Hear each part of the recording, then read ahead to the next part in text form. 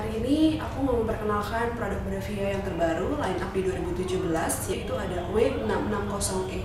Kalau ngomongin TV berarti kita ngomongin ke kualitas gambar karena didukung sama prosesor gambar prosesor X Reality Pro. Dari clarity-nya, kemudian dari color-nya dan juga dari kontrasnya. Jadi untuk seri Full HD saat ini ini benar-benar pas banget untuk jadi uh, pilihan konsumen yang ingin mengganti TV lamanya.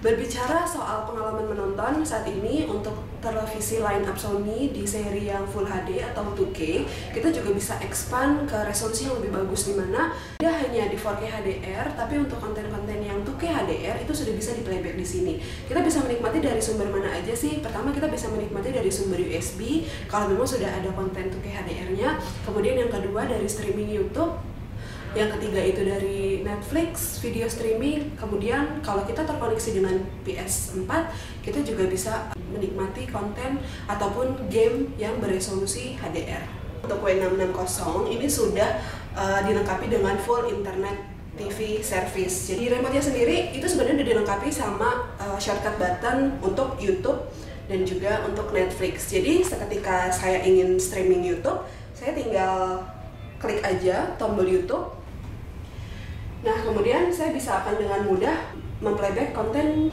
contohnya YouTube. Kemudian kalau dari segi interface-nya, kalau kita lihat dari sebelah sisi kiri untuk uh, menu-menunya itu sudah uh, simple dan juga colorful, jadi bisa dibedakan dari warna-warnanya. Kalau kita masuk ke all apps, pastikan TV-nya harus koneksi dengan internet dulu. Nanti kalau sudah terkoneksi dengan internet, maka kita akan bisa melihat aplikasi-aplikasi apa saja yang bisa dinikmati. Kita juga bisa browsing di TV tersebut. Jadi kalau misalnya dilihat dari all apps di sini, kita akan menemukan internet browser. Nah, kelebihannya apa? Untuk W660 atau TV di tahun 2017 ini loadingnya sudah sangat cepat dan di sini saya sudah koneksikan dengan wireless keyboard.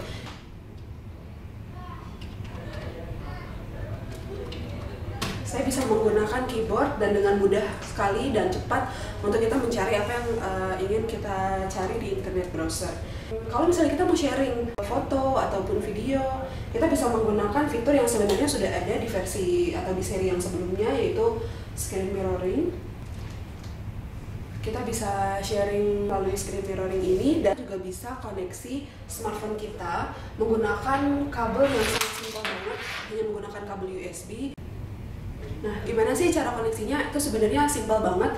Jadi kalau sudah ada USB yang terhubung ke televisinya, kemudian smartphone kita hubungkan dengan kabel tersebut, nah dia akan berubah ke kategori. Jadi kalau sudah masuk di kategori, kita bisa lihat foldernya dan kita bisa lihat uh, mau playback apa, musik, foto ataupun video atau melihat folder-folder lainnya yang uh, pastinya sangat mudah banget untuk digunakan. Jadi dari segi desainnya dia sudah lebih slim, plus juga dilengkapi yang namanya uh, cable management adaptor ataupun kabel-kabel lainnya seperti HDMI, uh, optik dan yang lainnya itu yang terkoneksi dengan TV-nya kita bisa manage uh, di bagian belakang ini menjadi lebih rapi dan simple. TV ini dilengkapi dengan empat perlindungan atau yang kita kenal dengan Exploitation Pro. Jadi ada empat perlindungan di televisinya untuk memaksimalkan penggunaan televisinya dalam jangka panjang.